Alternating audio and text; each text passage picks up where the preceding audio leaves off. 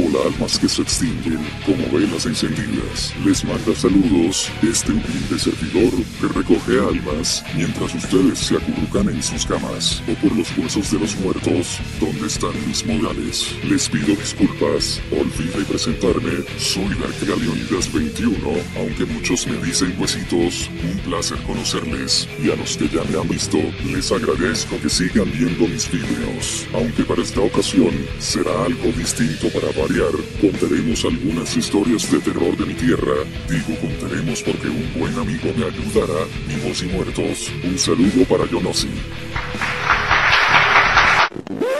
Así, casi se me olvida, mientras dura la emisión los invitados serán ponis, porque creían que el programa se llama Cuentos de Ponis. Por la concha de la mastetona. Nunca dijiste que sería un pony, me cago en ti huesos. Ajaja, bueno, en realidad se me olvidó XD. Si serás puto. Bueno, ya dejemos el relleno y empecemos. Ya que eres el invitado, empieza vos con la primera historia. ¿Y cómo quieres que empiece, si tú nunca me dijiste las historias? Eso déjaselo a la nota ¿A quién?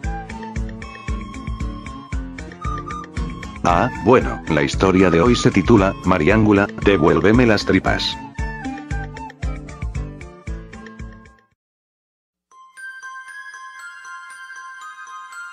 La historia cuenta sobre una niña de una edad de 14 años, su madre vendía tripa mishki, es una comida tradicional que son tripas de res y se las pone sobre un brasero con carbón caliente para que vaya cociéndose lentamente, de los cuales botan un aroma penetrante, esto se lo vende en una de las esquinas de la ciudad colonial en Quito. En una ocasión la madre de Mariángula mandó a comprar tripas, pero como esta niña era muy inquieta, se fue a jugar con sus amigos e hizo caso omiso al mandado de su madre y para colmo se gastó el dinero para la compra de las tripas. La niña preocupada por lo sucedido, se imaginaba que su madre le iba a pegar. Entre la preocupación de la mariángula que caminaba por las calles, pasó por el cementerio, y se le ocurrió la macabra idea de sacarle las tripas de uno de los muertos que recién lo habían enterrado, las sacó y las llevó a su mamá para que las vendiera, y en efecto logró su objetivo para no ser castigada, las tripas se vendieron muy bien cosa que a todo el que compraba le gustó, y en algunos casos querían otra porción. Ya en horas de la noche, en la casa donde vivía con su familia, era una casa tradicional de dos pisos como las que hay en Quito Colonial, Mariángula se acordaba de lo que había hecho, cuando de repente escuchó la puerta que se abrió fuertemente, pero lo trágico es que ella era la única que escuchaba aquellos ruidos y los demás seguían muy dormidos como si no pasara nada, a pesar de los muchos ruidos que se escuchaban en la casa. Cuando los ruidos eran muy fuertes y se podían escuchar con claridad puso mucha atención a lo que decían. Mariangurula, dame mis tripas y mi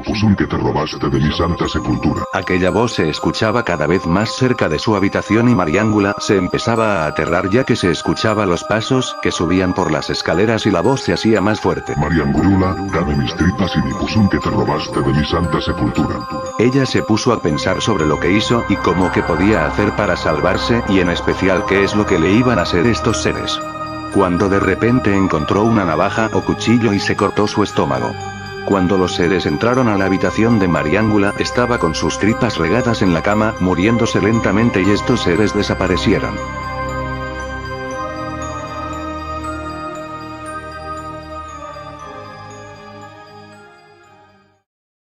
Wow, esta historia fue fue una completa cagada. No asusta ni un pepino, y por cierto gracias por la imagen gore, tendré traumas de por vida. XD, XD, XD, XD. Bueno, tenía que ambientar la historia, pero tienes razón, la historia deja mucho que desear. Nota mental, no te dejes seducir por un título. ¿Sabes? El chiste de hacer un video de terror es asustar, ¿sabías? Quizás sí, quizás no. El punto es que me gusta divertir más que asustar. Wow, se oyó poético. Y entonces, ¿para qué hiciste esta serie? Eso es muy elemental, mi amigo. Quería joderte convirtiéndote en un pony y que te vieran los de YouTube. X3, te la creíste. Ya dejemos el chiste y concentrémonos, ¿vale? Genial, muy bien, sigamos con esta historia, cuyo título es No abras la puerta a extraños.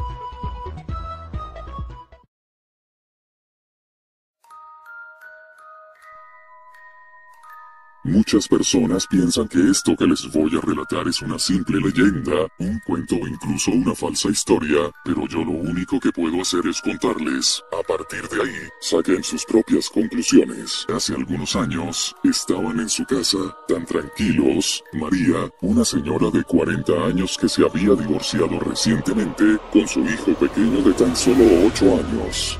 Como era de costumbre, María se tenía que ir todas las noches a trabajar, debido a que era una mujer con muchas responsabilidades, tanto en su trabajo como en su casa. Pero aquel día sería muy diferente al resto de los demás. Mientras cenaban, vieron en las noticias que un asesino en serie, muy peligroso y agresivo, había escapado del centro penitenciario de la ciudad.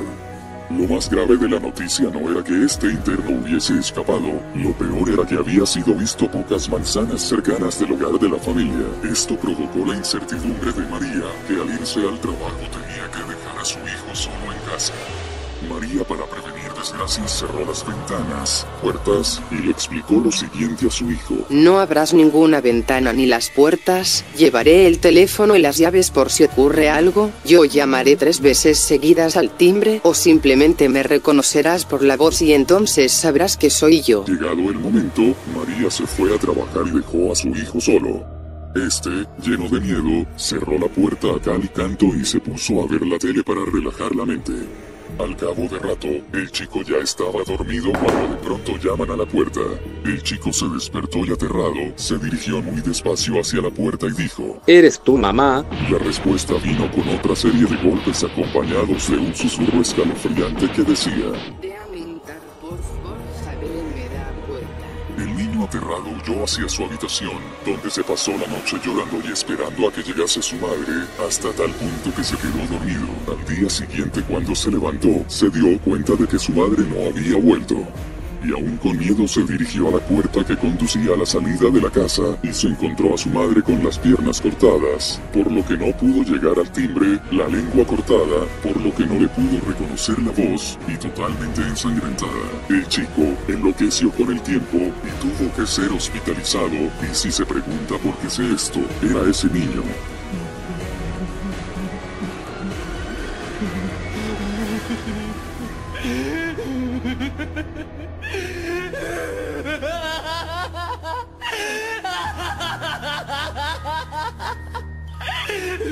Ha ha ha!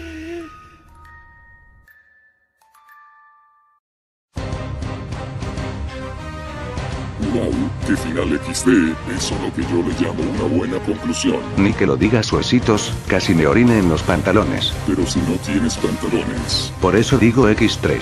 Jejeje, buena esa yo no sí. Bueno amigos, aquí acaba la primera emisión de Cuentos de Polis. Espero que les haya gustado y ahora sin más que decir saludos, prosperidad, suerte y sayonara. Ahora ya puedo volver a la normalidad. Ni puta idea de cómo hacerlo. ¿Pero qué? ¿Pero si serás hijo de la gran?